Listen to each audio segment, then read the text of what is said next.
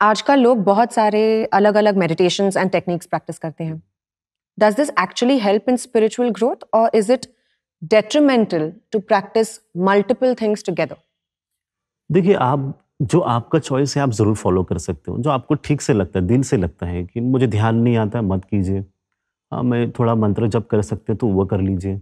वो भी नहीं होता है तो हम बहुत सरल कहते हैं लोगों से। सभी को एक बहुत फिक्स्ड प्रैक्टिस है विच वी टेल एवरी सभी को एक रोज आपको अपने ईश्वर के साथ बात करना है। बस उनसे बात करते रहिए। जहाँ पर भी जा रहे हो बात करते रहो। उसके अलावा कुछ और करने की ज़रूरत नहीं है। समय है तो आप कर सकते हो दिल से लगता है तो कर सकते हो। पर कम से कम जो रोज करना चाहिए, निरंतर करना चाहिए, वो है अपने ईश्वर से बात करना।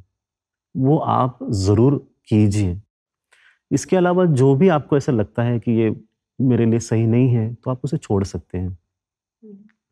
अगर आप, अगर उदाहरण के तौर पे कहता हूँ, आप डॉक्टर फ़ील्ड में आते हो और आपको डॉक्टर बनना है और करते करते आपको अचानक से ये भाव आ जाए कि मुझे इंजीनियरिंग भी करना है तो फिर सुबह आप जाते हो मेडिकल स्कूल, शाम को आप जाते हो इंजीनियरिंग स्कूल।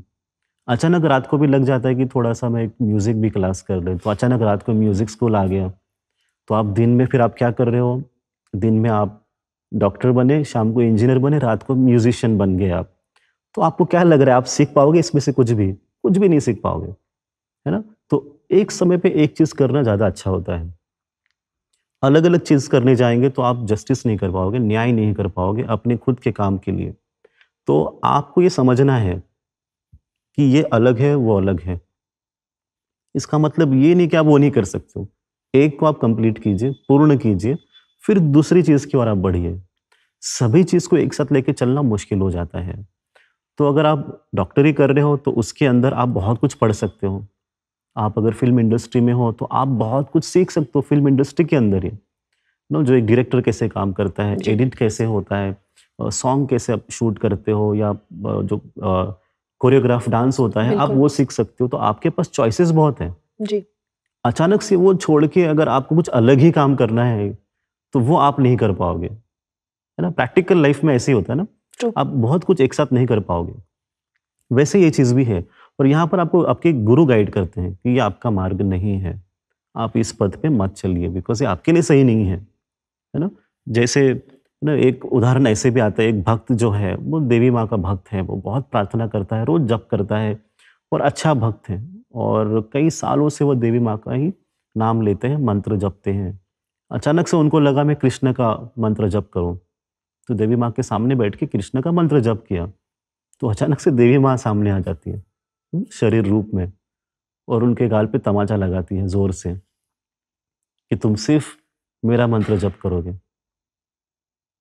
तो अभी अगर हम इसे देखते हैं तो ये तो अच्छा नहीं है। हम्म, वो तो भक्त है उसे लगा कृष्ण का जप करना पर वो उसके पीछे का कारण वो नहीं था। उसके पीछे का कारण ये है कि तुम्हारा शरीर जो है वो एक तरह से एक मंत्र के लिए तैयार हुआ है।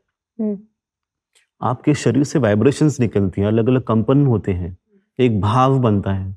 अचानक से उसमें बदलाव आ जाएगा तो शरीर ले नहीं पाएगा। तो प्रेम की वजह से ही उसको कहा कि नहीं तुम अभी जो ये कर रहे हो उसे पूर्ण करो पहले। उसके बाद आप दूसरी चीज़ सीखें। तो इसीलिए हम ये कहते हैं कि आप अपने गुरु के मार्गदर्शन के अनुसार ही ये चूज़ करें या तय करें। कि मेरे लिए ये सही है या मेरे लिए वो सही नहीं है। कुछ मंत्र होते हैं बहुत सौम्य मंत्र होते हैं माइल्ड मंत्र होते हैं कुछ बहुत इंटेंस तीव्र रुद्र मंत्र है। आप एक साथ नहीं कर सकते हो। और ये समझ में भी नहीं आता है। कई लोग बुक खोलते हैं मैंने ये कर लिया वो कर दिया वो कर दिया। आप सिर्फ़ पढ़ते रहोगे ज्ञान प्राप्त करोगे पर अनुभव नहीं मिलेगा। हम्म, आप पाँच साल के बाद पंद्रह साल के बाद खाली रहोगे।